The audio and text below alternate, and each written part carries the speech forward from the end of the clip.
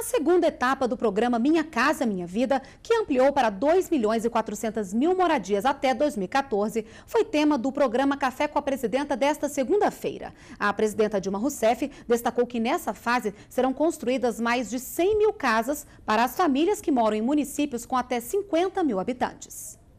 Nessa nova etapa, nós vamos construir 107 mil casas nas cidades pequenas do país, com até 50 mil habitantes. As casas elas vão ser construídas em mais de 2.500 municípios, principalmente do norte e do nordeste, onde vivem as famílias mais pobres que precisam de mais apoio do governo.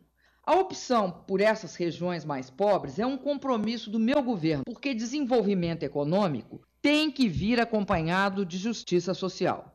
Para cada casa, o governo federal vai entrar com 25 mil reais como subsídio para a família que vai ter acesso a essa casa.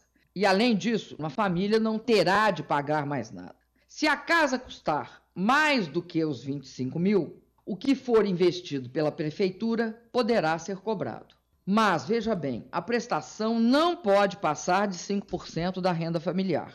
Se uma pessoa ganha mil reais, por exemplo, ela vai ter de pagar até 50 reais. A gente sabe que as famílias que ganham até R$ 1.600 por mês só conseguem ter sua casa própria se o governo ajudar. Por isso, quem estiver interessado em participar do programa deve fazer o quê? Deve procurar a prefeitura da cidade, que fará a seleção dos beneficiados, vai inscrever e vai selecionar.